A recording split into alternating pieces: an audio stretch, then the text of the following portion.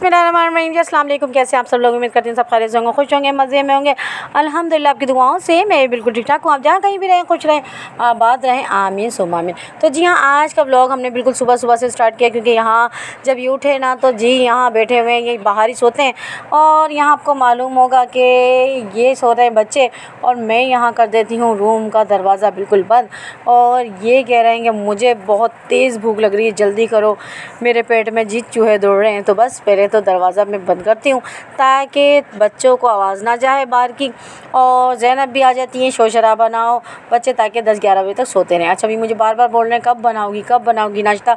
मैंने कहा, सब्र करें, आपको और ज़्यादा भूख लगेगी ना तब बनाऊँगी। जी हाँ।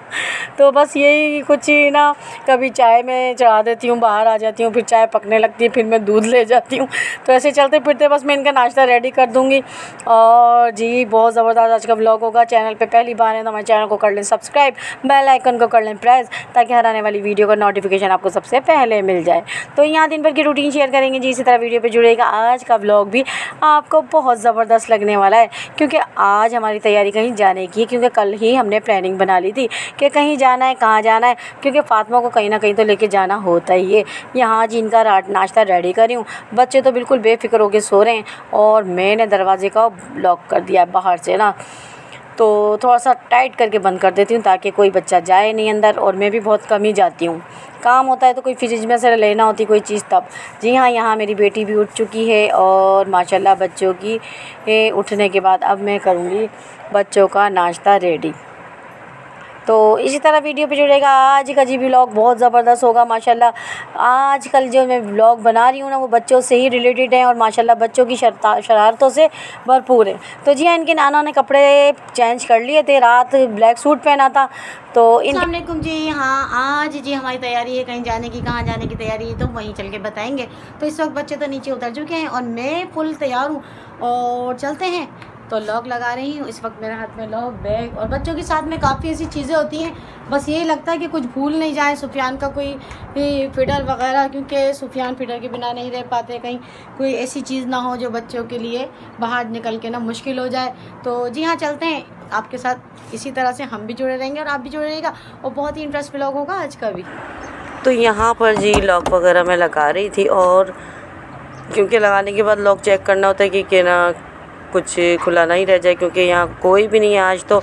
और अम्मा अब्बा भी नीचे ही होते हैं तो बड़ा सब कुछ देखभाल के जो है ना जाना पड़ता है। क्योंकि यहाँ जी, इस वक्त हम निकल चुके थे घर से और ऑटो किया ऑटो में से मैंने ऑटो को रोक के सुफियान बाबा का लिया मैंने लेक्टोजिन थ्री, जो कि सुफियान बाबा का ख़त्म हो चुका था। और फिर ये हमने लेके दोबारा हमने ऑटो को का के चली जी। फिर उसके बाद हम आ गए जी यहाँ छोटी बहन के घर अपने। तो जी हाँ मैं अपनी छोटी बहन के घर आई थी क्योंकि कल बहन की कॉल आई थी कि आ जाइएगा आप। और सुफियान फातिमा को दिल चाह रहा है देखने को। मैंने आप आ जाओ कि नहीं, मैं अभी आई थी, आप आ जाओ। तो बस यहाँ मैं आ चुकी थी और मैं उन्हें ढूंढ रही थी। तो वो कह रही है, मैं अभी आ रही हूँ, आ रही हूँ, आप बैठो। तो उनका अच्छा अच्छा इनका जो बहुत अच्छा सलोन है, जो कि मैं तैयार भी होती हूँ, काफ़ी बार आपको दिखाया है, और बहुत ही अच्छा माशाल्लाह, मुझे रेडी करती हैं। हर शादी में मैं जो जाती हूँ ना तो बस इन्हीं के पार्लर से मैं तैयार होती हूँ। तो यहाँ जी, सुफियान बाबा और फातिमा ने तो ढेर सारे खिलौने जो निकलवा लिए थे, और बस क्या है कि ये भी दे दो आप, मुझे ये भी, क्योंकि इनकी एक ही बेटी है, और माशाल्लाह बहुत संभाल के हर चीज़ को रखती हैं। सुफियान बाबा जी सो चुके थे और फातिमा को यहाँ मैंने सुकून से लिटा दिया और मैंने कहा, आप है ना यहाँ पर लेट जाओ। क्योंकि ना आप जल्दी उठ गए थे आने की खुशी में। अब थोड़ी देर सो जाओ। जी जी हाँ सुफियान बाबा भी सो चुके थे और जी फातिमा भी लेट गई थी। यहाँ मैंने रूम की लाइट थोड़ी सी बंद कर दिए ताकि रूम और अच्छा सा ठंडा हो जाए और बच्चे पुरसकून होकर सो जाएँ। क्योंकि आने की खुशी में जल्दी सो गए थे। यहाँ पर जी सुफियान बाबा तो गई सुफियान बाबा की एक घंटे की।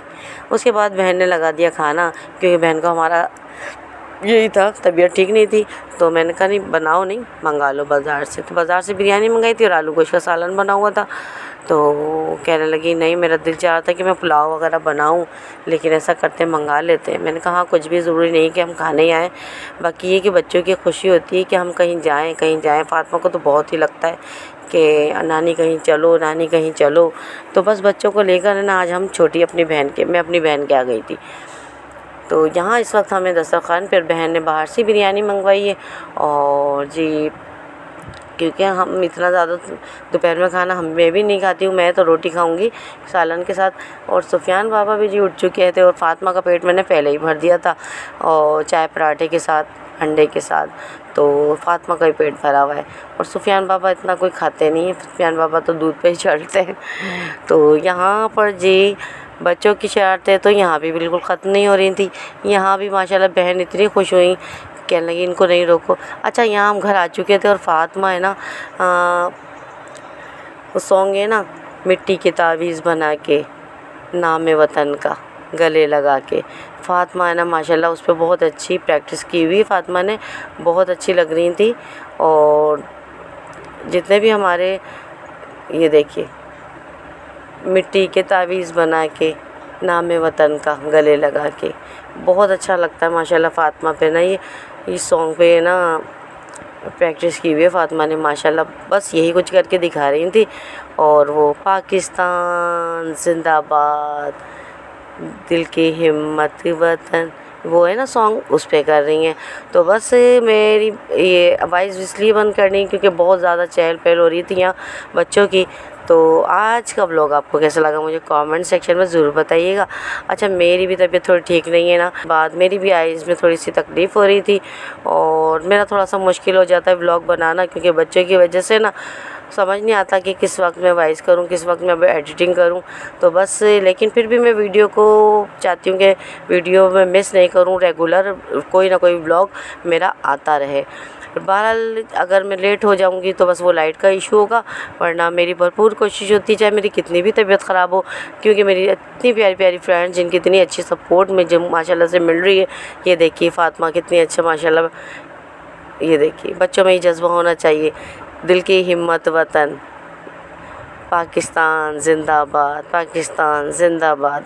ये देखिए, और सुफियान बाबा बड़े गौर से देख रहे हैं। बिल्कुल फातिमा ऐसी देख देख के ही कर रही हैं, माशाल्लाह। बच्चे देखे कितना जहनी होते हैं कि बच्चों को हमेशा अच्छी चीज़ों को की तरफ़ रागिब करना चाहिए। क्योंकि बच्चे बच्चे होते हैं, बच्चों को आप जैसा तो माशाल्लाह सारे जितने भी थे हमारे पाकिस्तानी कौमी सॉन्ग्स जितने भी फातमा इस पर कर रही थी। देखें, पाकिस्तान, जिंदाबाद। तो माशाल्लाह फातिमा बहुत क्यूट लग रही थी। और माशाल्लाह मिट्टी की तावीज़ बना के उस पर बहुत अच्छी माशाल्लाह फातिमा को प्रैक्टिस आती है। बहुत अच्छा किया।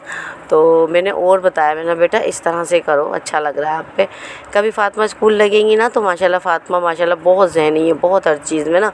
एक बात मैं जो बताती हूँ ना, उसको बस कवर कर लेती हैं। तो बच्चे बस कुछ यही कुछ कर रहे थे, क्योंकि इबाद वालों की फ़ैमिली में से अभी कोई आया ही नहीं। तो इसी रूम में हम शाम में बैठे हुए थे, ये रात का टाइम ही हो रहा है, क्योंकि सात, साढ़े सात की टाइमिंग है। आज का लोग यहीं तक था नेक्स्ट वीडियो तक जा चाहती हूँ अल्लाह हाफिज़